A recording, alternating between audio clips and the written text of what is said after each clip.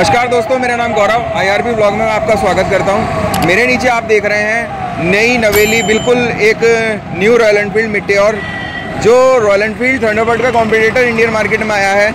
मेरे पीछे आप देख सकते हैं, मेरी ये रॉयल एनफील्ड थंडरबर्ड है, जिसे लगभग मैं सात साल से इसे यूज़ कर चुका हूँ। दोनों में काफ़ी डिफरेंस है। वो नई है, नई होने के साथ बैठने में इसकी चौड़ाई, पुरानी थंडरबर्ड के मुकाबले काफ़ी चौड़ी चौड़ी है ये। अब मैं इसके बात करता हूँ कि इसका कलर्स स्कीम बहुत प्यारी है, ये नीचे आप देख रहे हैं। Meter console new headlamp white tyre mudguard बिल्कुल एकदम। और सबसे प्यारी चीज़ है इसका, नया ये बड़ा इंजन। ये इंजन बेहद स्मूथ है और एक नई टेक्नोलॉजी के साथ आया है। इसमें गियर नॉकिंग नहीं करते हैं। मैं इस गाड़ी को फोर्थ गियर में 26 की स्पीड पे अभी चलाया है। और गाड़ी को जब मैंने उठाया तो कोई भी नोकिंग इशू नहीं आया गाड़ी में। सबसे बड़ी जो इसकी है, ये मेट्योर नो सुपर नोवा है। इसमें डुअल कलर देख सकते हैं। इस चीज़ को आप देखें कितना खूबसूरत लग रहा है। नीचे डुअल स्कीम है कलर की। एग्जॉस्ट देख सकते हैं। फुल कंप्लीट सीधा एग्जॉस्ट है, जो कि कंप्लीट क्रोम में है। रियर टायर 140 में जा चुका है अब। एबीएस ब्रेक के साथ आती है। शॉक एब्जॉर्ब आपको गैस वाले नहीं मिलेंगे। बहुत अच्छे शॉक एब्जॉर्ब हैं गाड़ी के। रियर बैक रेस्ट आपको देख सकते हैं कितना शानदार है इस गाड़ी का। इसके इंजन की साउंड देखिए कितनी प्यारी है आपको इसमें थम मिलेगा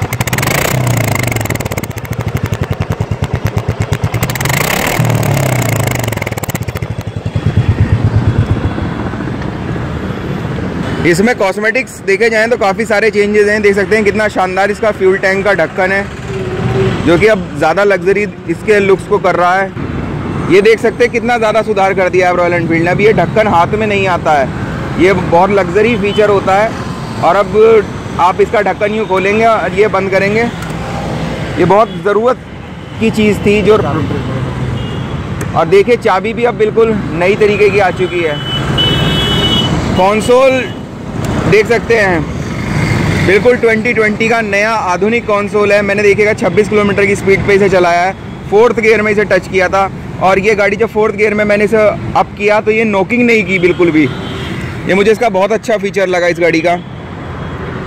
इंडिकेटर देख सकते हैं हम, बिल्कुल नए अवतार में आ चुके हैं। ये देखिए, मुझे बहुत अच्छा लुक लग रहा है इंडिकेटर्स का। ये देख सकते हैं हेडलैम्प और हेडलैम्प के बीच में खास तौर से देखिए, आरी की ब्रांडिंग की गई है बल्ब पे। ये बहुत अच्छी लग रही है। लुक्स बहुत बढ़िया लग रहा है, नया लुक्स